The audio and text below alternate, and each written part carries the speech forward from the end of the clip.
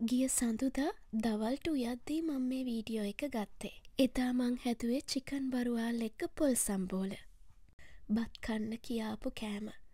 බාස්මතී හාල් වලින් කෝප්ප තුනක් රයිස් කුකර් එකේ භාජනයට දාගෙන මුලින් හාල් ටික හොඳට හෝද ගත්තා. හෝදගෙන ඉවර වෙලා වතුර අවශ්‍ය ප්‍රමාණයට හාල් වලට තියලා රයිස් කුකර් එකෙන් බත ඉදෙන්න තිබ්බා. මෙන්න මේ හැපි පිල් එකත් එදා නිවාඩු. එදා මං ඉව්වේ ජාති දෙකක් හින්දා කලින්ම ඔක්කොම ටික ලෑස්ති කරගත්තා. ලූුණු ටිකක් වැඩිපුර කපාගත්තා. ඒ පිඟානටම වියලි මිරිස් කරල් තුනකුත් තියාගෙන කරපිංචත් තියලා ලෑස්ති කරගත්තා උයන්න පහසුවෙන්න. ඒ ගමම්ම මම චොපිම් බෝඩ් එකයි පිහියයි හෝදලා පැත්තකින් තිබ්බා. ආපහු චොපිම් බෝඩ් එක ඕන වෙන්නේ නැති නිසයි මං එවලෙම හෝදල පැත්තකින් තිබ්බේ. ඊට පස්සෙ පුංචි දීසියකට ස්ටා ඇනිස් වලින් ටිකකුයි සූදුරුවලින් ටිකකුයි මහදුරුවලින් ටිකකුයි දාලා කරදමූංගු කරාබු නැටි කුරුඳු පතිවලින් ටිකකුත් ඒකටම තියලා ලෑස්ති කරගත්තා. එහෙම ලෑස්ති කරගත්තේ මස් එක උයද්දි මට පහසුවෙන්න. ඉරිදරෑම කුකුල් මස් ටික කපලා ඒකට ලුණු කුඩු ගම්බිරිස් කුඩු කහකුඩු සුදුලූුණු අමු ඉඟුරු පේස්ටවලිනුත් දාලා විනාකිරිත් දාලා තෙල්වලින් ටිකකුත් දාලා හොඳට කලවම් කරලා මැරිනෙට් වෙන්න තිබ්බා.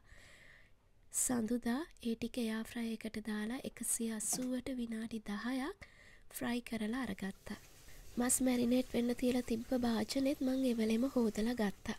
ඒකෙ තමයි මං පොල් සම්බෝලෙ හැදුවේ. පොල් ටික භාජනයට දාලා පොල් සම්බෝලෙ හදන්න ඕන කළමනා ටික පොල් එකටම එකතු කරා.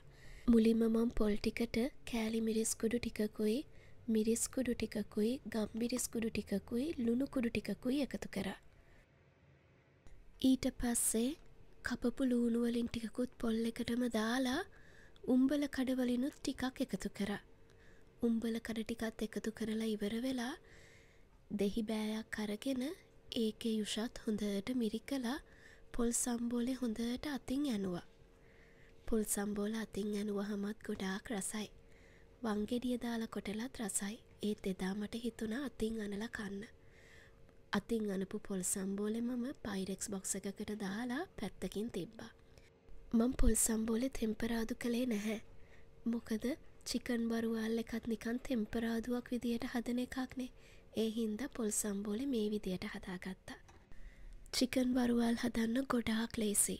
මුලින්ම භාජනයට තෙල් ටිකක් දාලා තෙල් ටික රත්වෙන්න තියෙනවා. මේ තියෙන්නේ එයා ෆ්‍රයි එකේ මං බැදගත්තු කුකුල් මස් කෑලි ටික.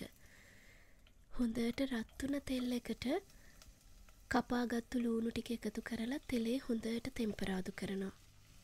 පොඩ්ඩ වෙලාවක් තෙම්පරාදු කරලා ඊට පස්සේ වේලුන මිරිස් කරල්තුන ලූුණු එකට එකතු කරලා ලුණු කුඩුත් ඒ ගමම්ම එකතු කරලා හොඳට තෙලේ තෙම්පරාදු කරගන්නවා. පොඩ්ඩ වෙලාවක් තෙම්පරාදු කරගෙන ඉවර වෙලා ඊට පස්සෙ කරපිංචටික එකතු කරනවා. ඊගාවට සූදුරු කරදමුංගු කරාබු නැටි මහදුරු කුරුඳු පොතු ස්ටා ඇනිස් මේ ඔක්කොම එකතු කරලා හොඳට තෙම්පරාදු කරනවා. මේවා ඔක්කොම එකට තෙම්පරාදු වෙද්දි හොඳ සුවඳක් එනවා. ඒ සුවඳ එනකොට තමයි කුකුල් මස් ටික එකතු කරන්න ඕනේ. මේ කුකුල් මස් රන්වන් පාට වෙනකම් බදින්නේ නැහැ. රන්වන් පාට වීගෙන එද්දී තෙලෙන් බාගන්න ඕනේ. මම නං ඉතින් යාෆ්‍රය එකේනෙ මේවා බැද්දේ ඊට පස්සේ පොඩ්ඩ වෙලාවක් හොඳට කලවන් කරලා මිරිස්කුඩු එකතු කරනවා.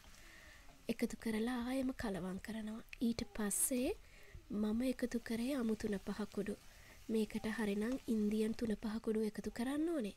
මම ඉතින් මට තියෙන ජාතියයි එකතු කරේ. එහෙම එකතු කරා කියලා වෙනසක් වෙන්නේ නැහැ. ඊට පස්සේ සෝය සෝස් ටිකක් එකතු කරා. ඒක කැමති නම් එකතු කරන්න ඕනේ. අකමැති නම් එකතු කරන්න ඕනේ නැහැ. මං ඉතින් රස වැඩි වෙන හින්දා එකතු කළා. ඔක්කොම ටික හොඳට විනාඩි දෙක තුනක් කලවම් කරලා පියනෙන් වහලා තැම්බෙන්න තිබ්බා.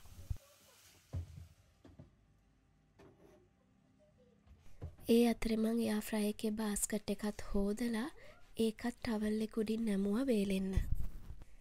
චිකන් වරුවල් එකත් හැදිලා ඉවරයි. ලිප වහලා අමු මිරිස් එකතු කරලා හොඳට කලවම් කරා. ඒකෙනුත් හොඳ රසයක් චිකන් වරුවාල් එකට එකතු වෙනවා. මේකට ගොඩාක්ම හොඳ කටු සහිත කුකුල් මස් කටු රහිත එක ගෙදර තිබුණ හින්දා මම පාවිච්චි කළේ ඒක. බත් එකත් ඉදිලා ඉවර හින්දා ඒකත් හොඳට කලවම් කරලා වහලා තිබ්බා. ඊට පස්සේ හෝදපු දේවල් ටවල් එක දාලා ටවල් එක උඩින් නවලා වතුර වේලෙන්න තියලා තිබ්බා. කුස්සියේ වැඩත් ඉක්මනට ඉවර කරලා මමත් අයන් පුතා එක්ක ඉඳගෙන ඇපල් ගෙඩියක් කෑවා. මං මුලින්ම චිකන් වරුවල් කෑවේ මැලේසියාවේ ඉඳිද්දි. මීට අවුරුදු හතරකට විතර උඩදී.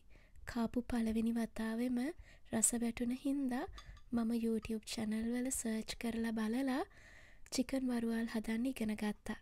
දැන් නං ඉතින් මට චිකන් වරුවල් රසටම හදන්න පුළුවන්.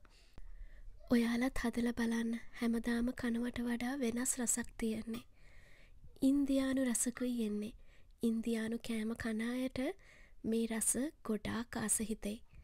ඔයාලා හැදුවොත් මතක ඇතුව පින්තූරයක් අරන් මං එක්කත් සතුට බෙදා ගන්න.